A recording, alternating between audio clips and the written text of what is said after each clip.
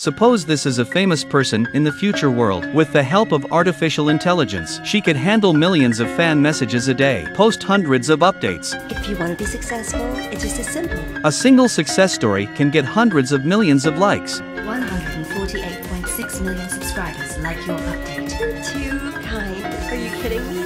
I love you more. With the support of 800 million fans, a random live broadcast can bring 50 million orders. 1.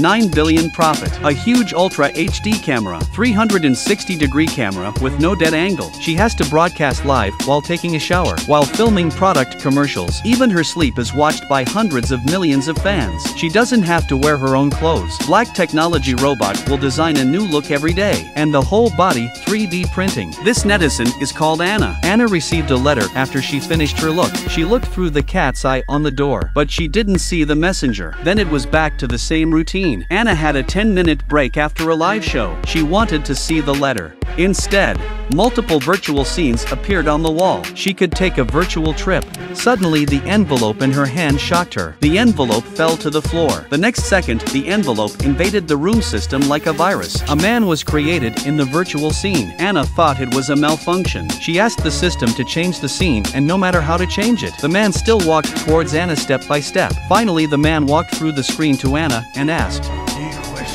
Suppose this is a famous person in the future world. With the help of artificial intelligence, she could handle millions of fan messages a day, post hundreds of updates. The man inserted his electrified hand into the chest of Anna, a netizen. At once the whole room flashed with electricity. The man also disappeared. Anna, who was in shock, opened the envelope on the floor. A question floated on it. Does your KG Anist? This question puzzled Anna. She reached out to touch the edge of the room. Fortunately, it was true.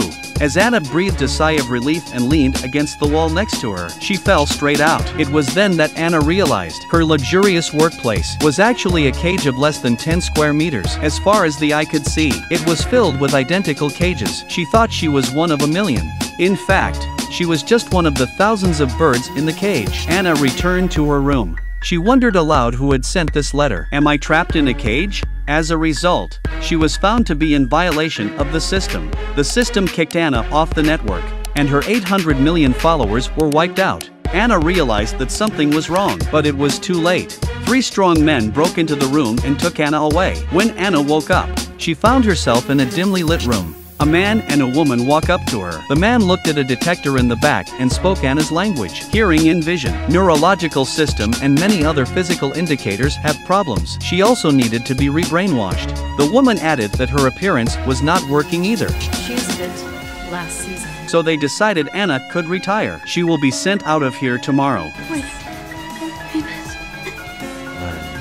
Suppose this is a famous person in the future world. With the help of artificial intelligence, she could handle millions of fan messages a day, post hundreds of updates. Celebrity Anna looks up. She realized that this man was the guy who helped her out of the cage. She seemed to have been rescued by him, but Anna felt a great sense of loss.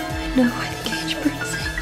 And then a screen appeared in front of her. She was presented with a few popular internet celebrities and asked her if she wanted to follow. She's out of the limelight, but she had to become one of the hundreds of millions of fans. From in front of the camera to behind it, an invisible hand is draining her of every last ounce of value. In this era where the internet is the dominant force in life, it seems that no one can escape from the cage of capital and big data.